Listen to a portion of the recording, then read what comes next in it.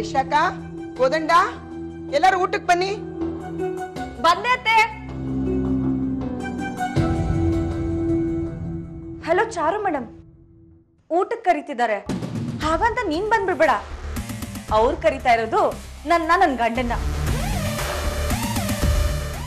ಪಾಪ ನಿಮ್ಗೆಲ್ಲಿದೆ ನಮ್ ಜೊತೆ ಕೂತು ಊಟ ಮಾಡೋ ಯೋಗ್ಯತೆ? ಮೊದ್ಲೇ ನಿನ್ಗೆ ಹಸ್ಕೊಂಡಿದ್ದು ಅಭ್ಯಾಸ ಇಲ್ಲ.